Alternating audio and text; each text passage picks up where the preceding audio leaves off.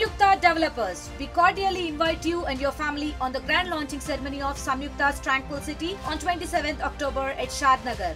Girl child protection, don't use drugs and don't drink and drive, Mira.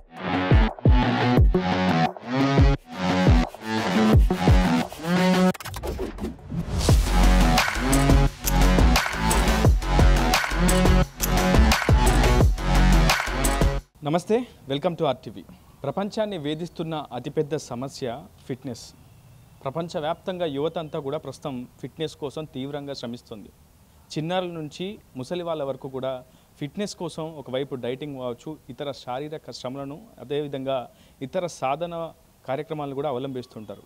కానీ ఒకవైపు ఫిట్నెస్ను కోరుకుంటూనే మరోవైపు ప్రపంచాన్ని జయించాలనే ఒక ఆలోచనతో సామాజిక స్పృహ కలిగించాలనే ఒక సదుద్దేశంతో ఓ ఇద్దరు చిన్నారులు ప్రపంచ యాత్రకు సిద్ధమవుతున్నారు. నిజంగా ప్రపంచ రికార్డుకు సిద్ధమవుతున్నారు. అసలు నిజంగా చాలా అందరినీ కూడా ఆశ్చర్యం కలిగించే ఘటన నిజంగా ఒక హైదరాబాద్లోని ఇద్దరు యువకులు అది కూడా ఉమేష్ రాజేష్ అనే ఇద్దరు చిన్నారులు ఆ నిర్ణయం తీసుకున్నారు.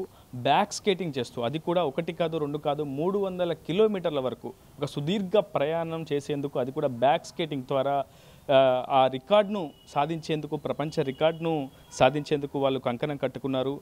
మరికొన్ని గంటల్లోనే వాళ్ళు ఆ విజయ యాత్రకు ప్రారంభాన్ని కూడా చేయబోతున్నారు. ప్రస్తుతం ఆ స్కేటింగ్ అకాడమీ యొక్క నిర్వాహకుల సారథ్యంలో పూర్తిగా శిక్షణ పొందినటువంటి ఆ ఇద్దరు యువకులు కూడా ప్రపంచ రికార్డును కొల్లగొట్టేందుకు సిద్ధమవుతున్నారు. ప్రస్తుతం ఉమేష్ రాజేష్ ఇద్దరు కూడా కేవలం పదకొండు పన్నెండు సంవత్సరాల వయసు ఉన్నటువంటి చిన్నారులు మాత్రమే బ్యాక్ స్కేటింగ్ ద్వారా హైదరాబాద్ నుంచి భద్రాచలం వరకు నిరంతరంగా మూడు వందల కిలోమీటర్లు బ్యాక్ స్కేటింగ్ ద్వారానే వెళ్తూ ఒకవైపు సేటు నో డ్రగ్స్తో అదే నినాదం తీసుకుంటూ మరోవైపు భారతీయ సంస్కృతిని కాపాడాలంటూ ఇలా అనేక అంశాలను స్ఫురిస్తూ అంతేకాదు మల్టీ టాస్కింగ్ ఆపరేషన్స్ కూడా సిద్ధమవుతున్నారు.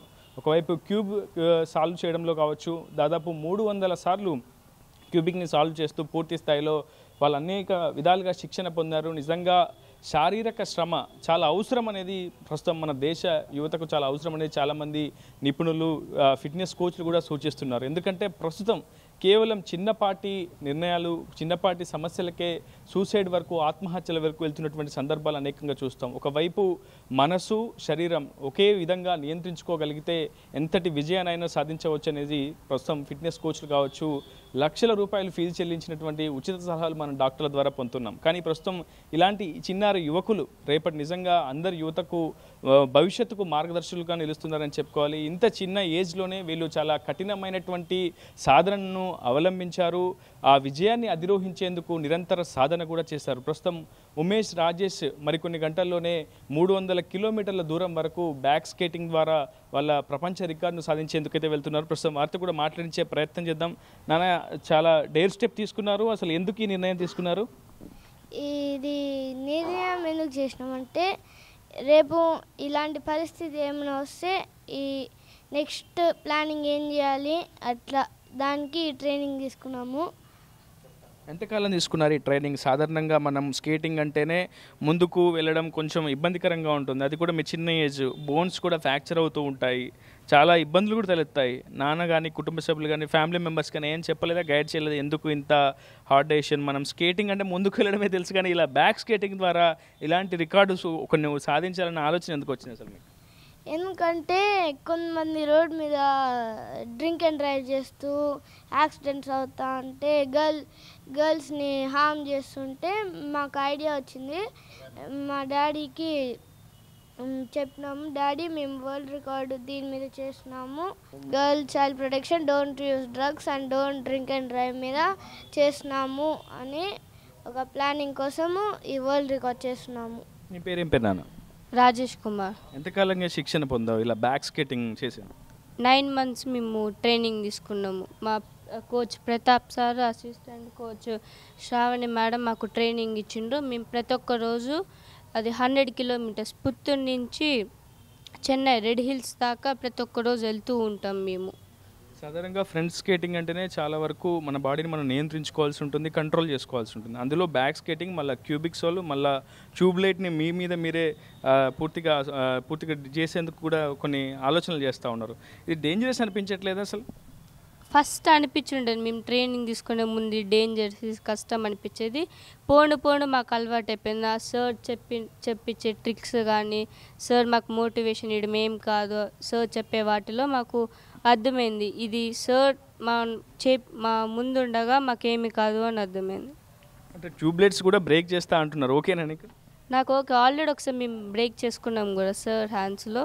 సో ఓకే మీకు. ఇద్దరి మధ్య ఎలాంటి కోఆర్డినేషన్ అవసరం? ఎందుకంటే మీరు తొమ్మిది నెలల శిక్షణ పొందారు. ఆల్రెడీ మీరు దీనికి ట్రయల్ రన్ కూడా చేశారు. ఇద్దరి మధ్య ఇద్దరు ప్లేయర్స్ మధ్య కావచ్చు ఇద్దరి మధ్య ఎటువంటి కోఆర్డినేషన్ అవసరం ఉంటుంది? Team work okay. Team work ఇంకా మేము రికార్డ్ని తొందరగా టైంలో బ్రేక్ చేయడం అవసరం. Twenty two hours and twenty four అవర్స్లోనే break చేయడం మాకు అవసరం. ఎట్లా సాధ్యమవుతుంది? ఒకవైపు బ్యాక్ స్కేటింగ్ ఇదే ఒక పెద్ద మల్టీ టాస్క్ మరోవైపు క్యూబిక్ సాల్వ్ చేయడం ఈ రెండు చర్యలని ఏ విధంగా కాన్సన్ట్రేషన్ చేయగలుగుతావు? ఒకవైపు వెనుక వచ్చేటువంటి వాహనాలు ఏమొస్తాయో తెలియదు వెనుక ఎంత ట్రాఫిక్ ఉందో తెలియదు ఎలాంటి రూట్లో నువ్వు వెళ్తున్నావో తెలియదు నీకు క్లారిటీ ఉండదు.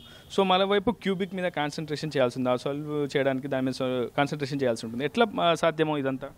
ఫస్ట్ సార్ వాళ్ళ క్యూబ్ ఇచ్చిన ముందు అది రోడ్డుకి వెళ్ళే ముందు కొంచెం మెడిటేషన్ వార్మప్స్ అంతా చేస్తాం. రోడ్డులో సార్ నాకు క్యూబ్ ఇచ్చినప్పుడు కానీ ముందు ఒకసారి వెనకలు చూసుకుంటా. అంత ఏమేమి ఉన్నాయి అనేసి. దాని తర్వాత నేను క్యూబ్ సాల్వ్ చేసుకుంటా. నేను వెళ్ళే దానిలో సడన్గా ఏమైనా వెహికల్స్ కానీ యానిమల్స్ కానీ అర్థం వస్తే సార్ మాకు చెప్తారు. ఇట్లా ఇవి ఉన్నాయి చూసుకొని పోండి అని అట్లా చెప్తారు. మేము దాన్ని బట్టి చూసుకుంటూ పోతాం. ఈ వండర్ కిడ్స్ని తీర్చిదిద్దినటువంటి స్కేటింగ్ అకాడమీ ట్రైనర్ మనతో ఉన్నారు. ఆయనతో కూడా మాట్లాడుతుంది సార్ చాలా ఆశ్చర్యంగా అనిపిస్తుంది. అసలు ఎట్లా పాసిబుల్ అవుతుంది? మల్టీ టాస్కింగ్ అది కూడా బ్యాక్ స్కేటింగ్ ద్వారా అసలు కేవలం తొమ్మిది నెలలే శిక్షణ పొందామని చిన్నారులు చెప్తా ఉన్నారు. చాలా పెద్ద డెసిషన్ తీసుకున్నట్టు అనిపిస్తుంది. నిజంగా ఎట్లా అసలు ఇది? ఎట్లా సాధ్యమైంది?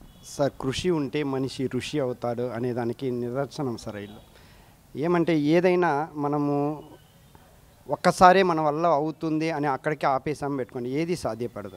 మనం మళ్ళీ మళ్ళీ ప్రయత్నిస్తూ ఉన్నాం పెట్టుకోండి. ఏదో ఒక రోజు గెలుస్తాం.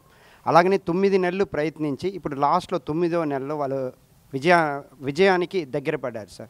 యాక్చువల్గా చెప్పాలంటే వీళ్ళ ట్రైనింగ్ చాలా కఠినం సార్. ఫస్ట్ ఆఫ్ ఆల్ వాళ్ళ పేరెంట్స్కి చెప్పాలి. ఎందుకంటే అంత ధైర్యంగా అంత రిస్కీకి వాళ్ళ పేరెంట్స్ వాళ్ళ పిల్లల్ని వదులుతున్నారంటే వాళ్ళ గుండె ధైర్యము. వాళ్ళు ఏదో ఒక ఆశించి అంటే ఏదో మా పిల్లలు సాధిస్తారని ఒక ఆశించి మా దగ్గర తీసుకొచ్చారు. ఇది కూడా ఒకే కుటుంబానికి సంబంధించిన ఇద్దరు కూడా అన్నదమ్ములే. చాలా రిస్క్ చేయాల్సి ఉంటుంది పేరెంట్స్ చాలా రిస్క్ అనేది రిస్క్ అంటే ఏంటంటే ఆన్ రోడ్ చేయాలి సార్. వీళ్ళు ఏ ఏ గ్రౌండ్లోనే చేస్తే సేఫ్ ఉంటుంది. ట్రాఫిక్ ఉంటుంది గుంతలు ఉంటాయి జంతువులు పరిగెత్తుకుంటూ వస్తుంది తాగేసి వచ్చేవాళ్ళు ఉన్నారు. వాళ్ళందరినీ అధిగమించి ఈ రికార్డు వాళ్ళు వాళ్ళు ప్రా ప్రాక్టీస్ ఉంది కదా సార్ చాలా కఠినమైంది. అదేలాగా వాళ్ళ ఫుడ్ కూడా వచ్చేసి నేచురల్ ఫుడ్. నేచురల్ ఫుడ్ అంటే ఇండియాలోనే బెస్ట్ ఫుడ్ సద్దన్నం ఎర్రగడ్డ రోజు. మళ్ళీ వచ్చేసి సంగటి. ఇలాంటి కూరాకులు పాలాకులు ఇలాంటి ఆకుకూరలు ఇలాంటి న్యూట్రిషన్తోనే వాళ్ళు ఈ సాధించారు. అంటే ఫర్ డే వచ్చేసి హండ్రెడ్ కిలోమీటర్ ప్రయాణిస్తారు సార్. తిరుపతి దగ్గర పుత్తూరులో వీళ్ళు ట్రై ట్రైనింగ్ తీసుకున్నారు టాలెంట్ స్కేటింగ్ అకాడమీలో ఒక కారు వెళ్తూ ఉంటుంది దాని ముందర వీళ్ళు చేస్తూ ఉంటారు. వీళ్ళు చాలాసార్లు ఒకసారి అయితే అబ్బాయి పడిపోయి ఈ రెండు బోను వెనక్కి వంగిపోయింది.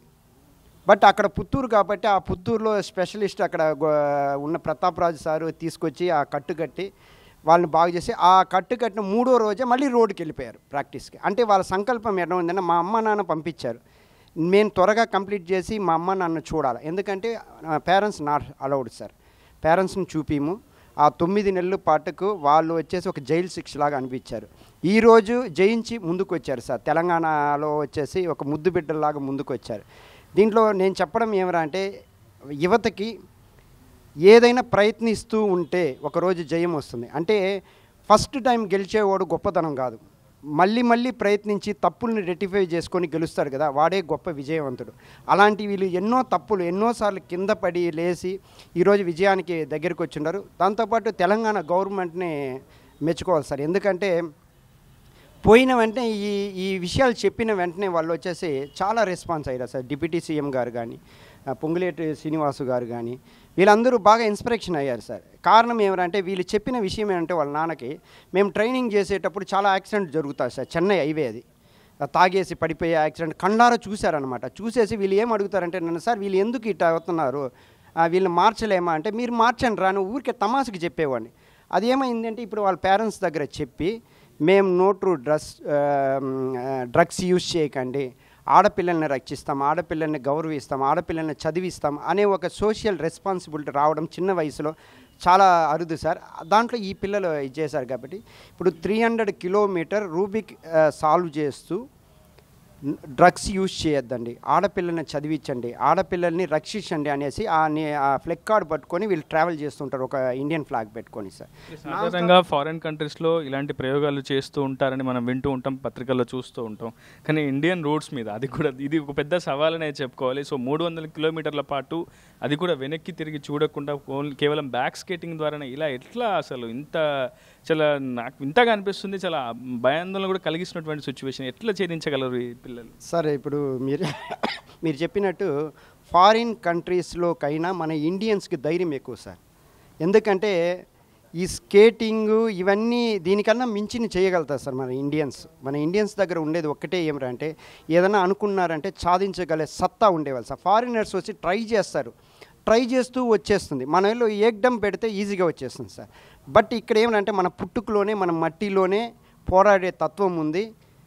జయించే తత్వం ఉంది కాబట్టి ఇవన్నీ చాలా ఈజీ సార్ మన ఇండియన్స్కి నా ఉద్దేశంలో. అంటే ఇలాగ ఇలాగా చాలామంది కోచెస్ ముందుకు వచ్చి వాళ్ళ పిల్లల స్కిల్ని డెవలప్ చేసి చూపిస్తే చాలా బాగుంటుంది. ఎందుకంటే పర్సనల్ డెవలప్మెంట్ క్లాసులు జరుగుతాయి.